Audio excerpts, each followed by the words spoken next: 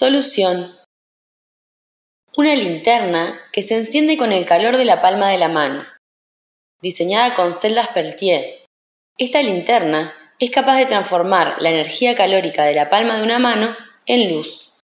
La luz no depende del clima ni de la electricidad de la casa.